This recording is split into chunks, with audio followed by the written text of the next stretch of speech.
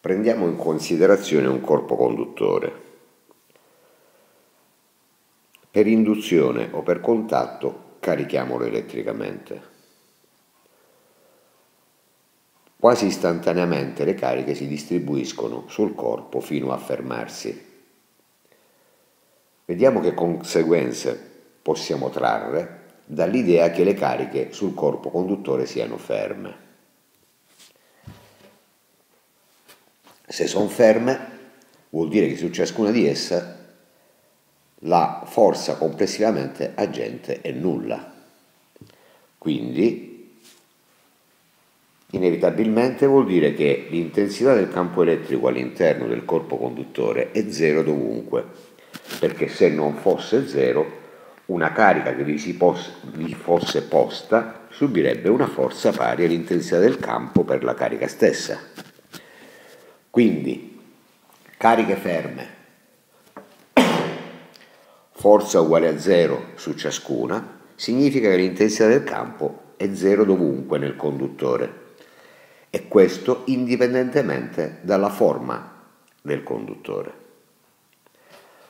Un'altra conseguenza immediata è che l'intensità del campo sulla superficie esterna del conduttore deve essere perpendicolare alla superficie stessa perché se non lo fosse,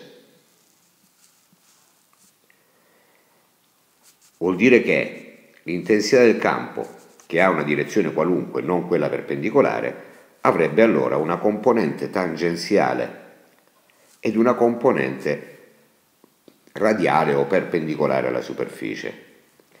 La componente tangenziale avrebbe come effetto di far scorrere le cariche in superficie tangenzialmente alla superficie stessa. E questo in contraddizione con il fatto che abbiamo affermato che le cariche sono ferme. Quindi non è possibile che il campo elettrico abbia una direzione qualunque, ma deve necessariamente essere perpendicolare alla superficie.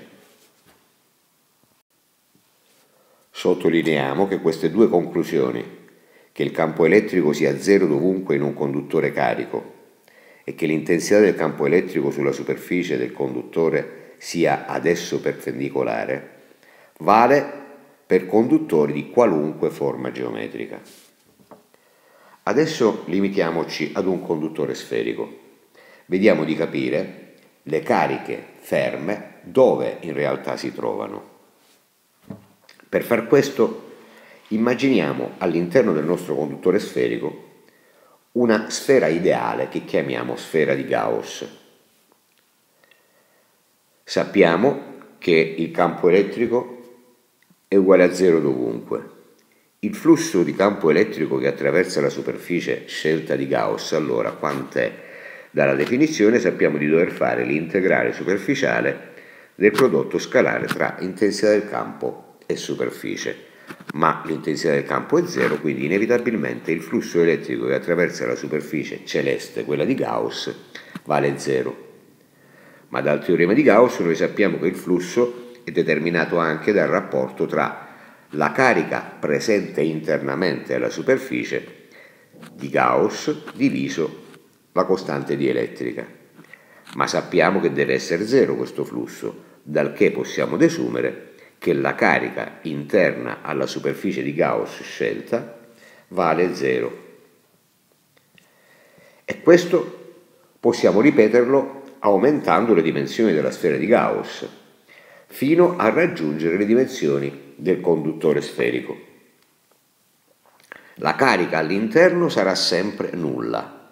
Dobbiamo allora concludere che la carica sul conduttore sferico si è andata a posizionare sulla superficie esterna. Possiamo anche stabilire che questa carica si sia distribuita in maniera uniforme sulla superficie sferica. Questo dipende dal fatto che la sfera ha una simmetria tale che ogni suo punto è equivalente ad ogni altro, vale a dire che non c'è nessun punto di una superficie sferica che abbia un particolare privilegio, quindi nessun punto può avere più o meno carica di ogni altro punto della sfera. Dunque, su una sfera conduttrice, la carica elettrica si stabilisce sulla superficie esterna in maniera uniforme.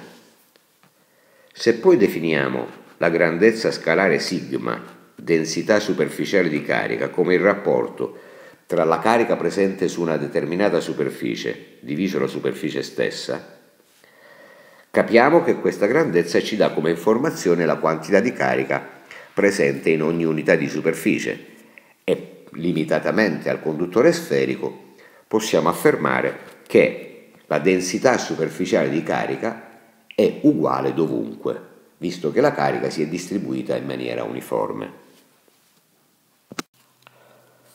Sapendo allora che per un conduttore sferico la carica è distribuita uniformemente sulla superficie esterna e che al suo interno il campo elettrico vale zero dovunque, vediamo di, det- di determinare quanto vale il campo elettrico in punti esterni a questo conduttore. Per far questo consideriamo una superficie di Gauss esterna al nostro conduttore sferico e adesso concentrica. Determiniamo il flusso di campo elettrico esistente su questa superficie. Sappiamo dalla definizione di dover fare l'integrale superficiale del campo elettrico per la superficie. Ma sappiamo che l'intensità del campo ha uguali distanze dal centro del conduttore, non può che avere lo stesso identico modulo come conseguenza della simmetria sferica del conduttore e della distribuzione delle cariche su di esso. Ma nella stessa direzione va anche il vettore superficie. Quindi l'angolo tra campo elettrico e superficie è 0, dunque il coseno vale 1. L'intensità del campo possiamo allora estrarla dall'integrale perché ha lo stesso identico valore su tutta la superficie e il coseno vale 1. Dunque dobbiamo fare l'integrale, cioè la somma degli, delle infinite microsuperfici in cui è stata frammentata la della nostra superficie di Gauss. Ma sommando tutti i frammenti di superficie otterremo alla fine l'intera superficie, cioè il flusso di campo elettrico sulla superficie di Gauss che abbiamo scelto è pari all'intensità del campo elettrico per 4 π r quadro che è la superficie della sfera stessa, dove R rappresenta naturalmente il raggio di questa sfera. Dal teorema di Gauss però sappiamo anche che il flusso di campo elettrico sempre, su una superficie chiusa è sempre determinato dal rapporto tra la carica presente all'interno della superficie e la costante dielettrica del mezzo. Abbiamo determinato che questo vale E per 4 πr quadro, quindi da qui possiamo dedurre che l'intensità del campo in ogni punto della sfera di Gauss scelta vale 1 su 4 π epsilon con 0 moltiplicato la carica e diviso la distanza al quadrato, che come vediamo è esattamente la stessa forma che ha l'intensità del campo elettrico generato da una carica puntiforme. Dunque, all'esterno di una sfera carica elettricamente, conduttrice, l'intensità del campo è esattamente uguale a quello che si avrebbe se l'intera carica fosse concentrata nel centro della sfera. Dalla definizione che abbiamo dato di densità superficiale di carica, vediamo di poter riscrivere questa forma del campo elettrico in un altro modo. Al posto della carica mettiamo il prodotto tra densità di carica e superficie. Per una sfera conduttrice abbiamo affermato, abbiamo compreso che la densità di carica è uguale dovunque. Dunque avremo 1 su 4 π epsilon con 0 moltiplicato sigma per la superficie della sfera che è 4 π r quadro. Dove in questo caso R è quello della superficie conduttrice. E dobbiamo poi dividere per R quadro con r piccolo che è invece la distanza di un qualunque punto dal centro della sfera. 4π e 4π si semplificano, rimane che l'intensità del campo è esprimibile in questo modo, sigma fratto epsilon con 0, moltiplicato il raggio della sfera conduttrice al quadrato diviso la distanza del punto al quadrato.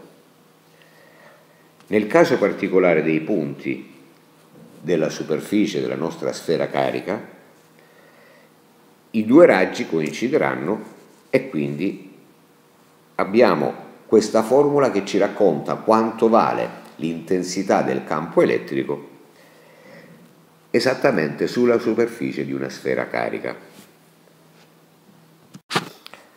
Vediamo ora dove e come si distribuiscono le cariche su un conduttore che abbia una forma qualunque. Scegliamo un conduttore ovoidale come in figura. Sappiamo già che al suo interno l'intensità del campo vale 0 dovunque. Scegliamoci una superficie interna al nostro conduttore, una superficie di Gauss e valutiamo il flusso elettrico su questa superficie. Essendo uguale a zero l'intensità del campo dovunque, il flusso inevitabilmente varrà a zero sulla superficie di Gauss. Ma per il teorema di Gauss, il flusso di campo elettrico è pari alla carica interna alla superficie diviso la costante di elettrica e deve valere zero perché lo abbiamo già stabilito. Da qui desumiamo inevitabilmente che la carica interna alla superficie di Gauss scelta valga 0. E questo per qualunque superficie di qualunque forma che noi si sia scelto all'interno del, del conduttore carico. Questo porta a concludere inevitabilmente che anche per un conduttore di forma qualunque la carica elettrica si distribuisce sulla superficie esterna. Rimane da stabilire se anche per un conduttore di forma qualunque la carica sulla sua superficie si distribuisca uniformemente. Intanto ricordiamo che un conduttore di forma qualunque non ha la stessa simmetria, non gode della stessa simmetria di un, di un conduttore sferico. Ricordiamo per cominciare il concetto di curvatura di una superficie. Una superficie in un determinato suo punto ha una curvatura che è definita come l'inverso del raggio di curvatura. Ma il raggio di curvatura di una superficie cos'è?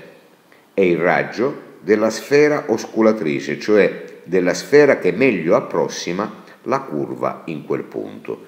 Questo vuol dire che per una superficie qualunque il raggio di curvatura è diverso punto per punto, quindi è diverso punto per punto la curvatura della superficie stessa, che è quindi funzione del punto.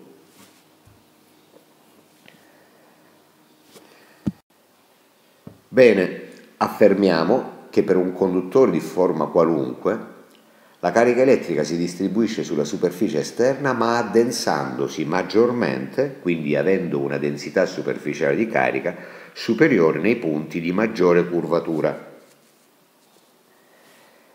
e invece inferiore la quantità di carica per unità di superficie nei punti della superficie che abbiano una curvatura di basso valore.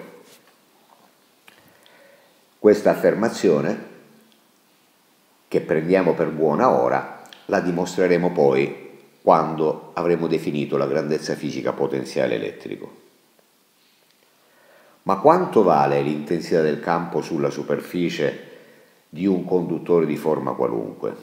Abbiamo visto che potevamo esprimere l'intensità del campo sulla superficie di un conduttore sferico come il rapporto tra sigma, la densità superficiale di carica e la costante di elettrica del mezzo. Ma la densità superficiale di carica per una sfera aveva lo stesso valore dovunque. Non è più così nel caso di una superficie di forma qualunque, perché abbiamo detto che la carica si distribuisce addensandosi più o meno a secondo della curvatura, quindi anche la densità superficiale di carica è funzione del punto della superficie, cambia da punto a punto. In figura le frecce rosse rappresentano il vettore campo elettrico sulla superficie e possiamo notare che come sappiamo il vettore è perpendicolare alla superficie e ovviamente ha un modulo maggiore laddove c'è un maggiore addensamento di cariche. Ma per valutare quanto valga l'intensità del campo in ogni punto della superficie, facciamo questa operazione. Prendiamo una superficie di Gauss che sia un parallelepipedo, un piccolissimo parallelepipedo. Facciamo lo zoom di questa superficie. Vediamo che la, super, eh, la superficie superiore del parallelepipedo è esterna alla, al conduttore, mentre la superficie inferiore rimane interna al conduttore. Quindi possiamo comprendere che il flusso di campo elettrico sulla superficie inferiore sia zero perché è zero il campo elettrico all'interno del conduttore il flusso di campo elettrico sulle superfici laterali è zero, è nullo perché l'intensità del campo uscendo perpendicolarmente dalla superficie è parallelo alle superfici stesse, quindi con un contributo al, al flusso nullo. L'unica superficie che abbia un flusso di campo elettrico diverso da zero è allora la superficie superiore del, del nostro parallelepipedo. Naturalmente il parallelepipedo possiamo immaginare di renderlo via via più piccolo fino ad arrivare al limite ad un parallelepipedo che abbia la superficie superiore pari ad un punto. Quindi in quel caso la superficie sarà il differenziale di superficie, cioè ds. Il vettore ds e il vettore campo elettrico sono paralleli perché entrambi escono perpendicolarmente dalla superficie. Calcoliamo allora il flusso di campo elettrico sulla nostra superficie di Gauss, sul minuscolo parallelepipedo. L'intensità del campo elettrico, trattandosi al limite di una superficie pari a un punto, vale E di xyz, vale a dire l'intensità del campo elettrico in quel preciso punto, moltiplicato per la superficie, per il differenziale di superficie di S. Per il teorema di Gauss il flusso vale il rapporto tra Q ed ε con 0, dove Q si intende la carica presente all'interno della superficie di Gauss, cioè all'interno del nostro piccolissimo parallelepipedo ma noi possiamo esprimere la quantità di carica come il prodotto della densità di carica, in quel punto ovviamente, moltiplicato la superficie. Da questa uguaglianza, semplificandosi ds, rimane allora che l'intensità del campo sulla superficie del nostro conduttore nel punto xy con z vale il rapporto tra sigma cioè la densità superficiale di carica di quel punto diviso ε con 0. Possiamo allora generalizzare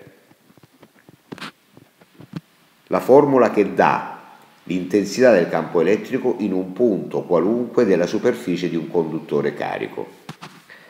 L'intensità di campo elettrico che esce perpendicolarmente dalla superficie vale la densità superficiale di carica di quel particolare punto diviso la costante dielettrica del mezzo dentro cui il conduttore è immerso.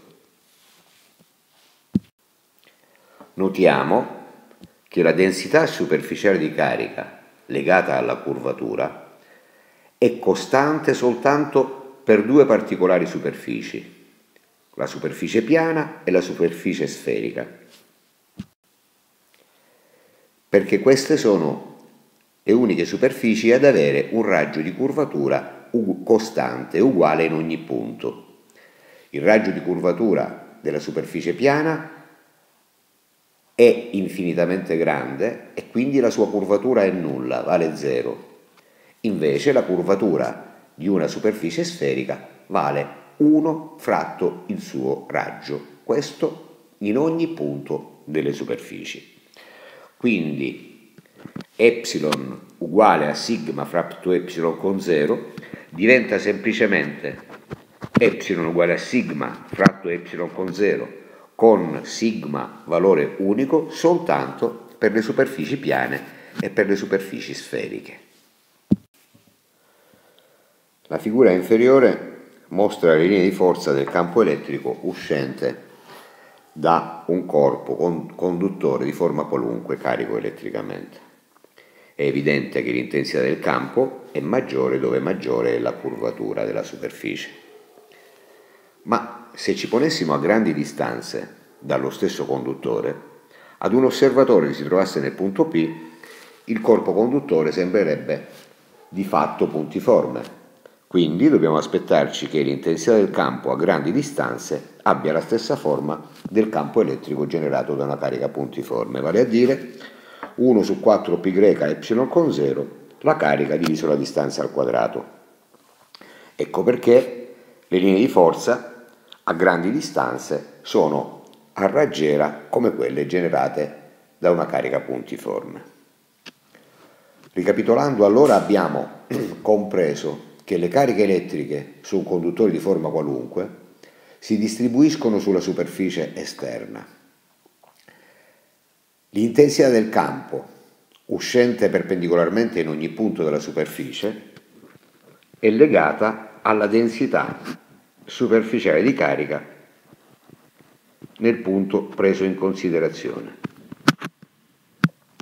La densità superficiale di carica, poi, è legata alla curvatura della superficie. Tanto maggiore la curvatura, tanto maggiore sarà la densità superficiale di carica. Le uniche superfici ad avere curvatura costante uguale in ogni punto sono il piano e la superficie sferica. La superficie sferica che ha come valore di curvatura 1 fratto il proprio raggio e il piano che ha valori di curvatura 0 perché il raggio della sfera osculatrice, un piano, è una sfera di raggio infinito, quindi la curvatura del piano è nulla. Le cariche allora possono distribuirsi, si distribuiscono uniformemente soltanto nel caso di una superficie piana e di una superficie sferica. Per qualunque altro tipo di superficie la densità superficiale di carica sarà funzione del punto. E sarà quindi funzione del punto l'intensità del campo sulla superficie di quel conduttore. Per finire andiamo a comprendere il perché un corpo che presenti una forma a punta si scarica molto ma molto rapidamente. Abbiamo compreso che se c'è una punta, in quel punto della superficie la curvatura è grandissima, visto che il raggio di curvatura è estremamente piccolo. Quindi la gran parte delle cariche si stabilisce in quella zona del corpo.